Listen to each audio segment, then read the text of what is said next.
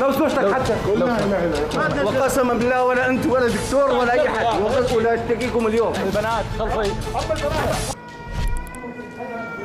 محمد. ها وش صار؟ آه، بنت. المرة الرابعة بنت؟ طيب أنا إيش دخلني؟ وش دخلك؟ أنا أبغى ولد؟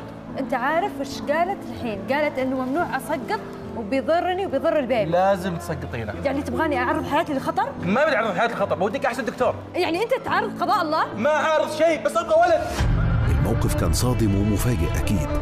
أكيد هيكون في ناس رد فعلها مختلف. تعوض من الشيطان تعوض من الشيطان اهدى اهدى. هي بتجيب بنات. حس انت الولد. هذا شيء بأمر الله. مو بيدها. والله هم ذول هم ذول السبب الرزق. يمكن رح يكتب لك مع البنت هذا إيش فيك أنت؟ لما تكبر. بالعمر. وتعجز يقوموا فيها. زي ما أنت الله يرضى عليك جاي مصدمة يقولوا لك أبو البنات قول لهم هذه قسم طلع أنا أرضى فيها.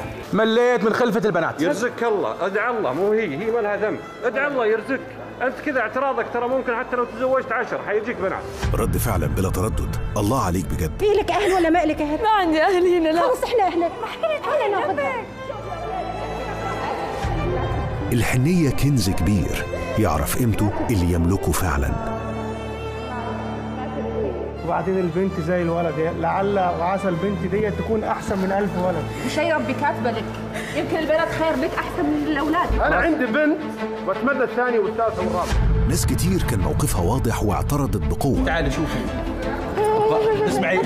اسمعي. ما تمد يدك أقصها لك. ما لك علاقة؟ أقصها لك. تمد يدك على مرأة وبدأ الانفعال يزيد. ما في إنسانية ما في رحمة. سيدي ربط بصدق إيش هو الولد من البنت اللي ببطنك ما ابغاها أحكي معي أنا ابغاها وأنا حاخذها معي وأنا حاخذها ولد يوم بنتي اللي انت بتقوله اللي انت بتطلبه ده حرام. أربع لا تكلمها كده. لو زوجتك حتى. وقسما بالله ولا أنت ولا دكتور ولا أي حد. ولا اشتكيكم اليوم. البنات خلفي وفي اللحظة دي كان لازم نتدخل بسرعة.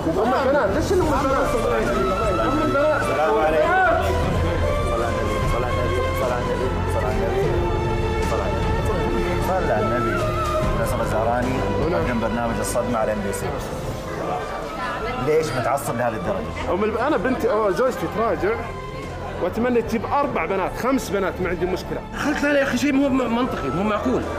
هم البنات هم البنات.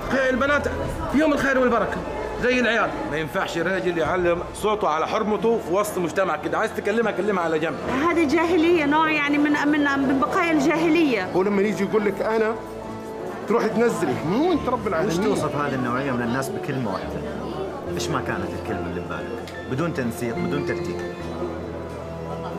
الله يعينك على نفسك. فاجأتنا إنه ولا حقنا حتى نفوت.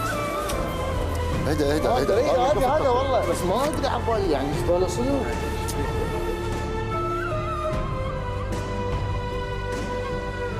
يا درجة أثر بك الموضوع بحيث أنه ما حكيت ويا الولد مباشرة ضربته أنا صاحب ثلاث بنات.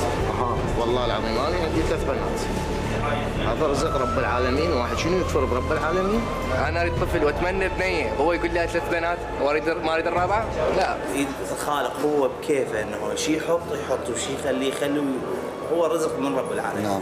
ما قدرت ما تحملت يعني. يعني هسه أنا الناس ثلاث بنات أخوي عنده أربعة يعني إيش فيها البنيه تعتقد المجتمع اليوم أيضا يضغط على الرجل أو المرأة اللي خلفتهم بس بنات؟ لا المجتمع ما له شغلة بس يعني ال... يعني الناس يعني بقت يعني بهذا وضعنا يعني والتطور اللي دا يصير والحياة اللي دا نعيشها وبقت اكو ناس تفكر بهذه الطريقة السلبية يعني مع الأسف. هو ما يقبل اتدخل دائما يقول لي ما يصير تروح على المشكلة بس أنا حتى مرة وحتى إيش قلت له؟ قلت له بلكي طلع برنامج الصدمة تتذكر كنا نتسوق ولد وأب قتل ابنه. هذا يعني رزق رب العالمين. إحنا جينا نسوي بك الصدمة بس تسود بنا الصدمة بصراحة.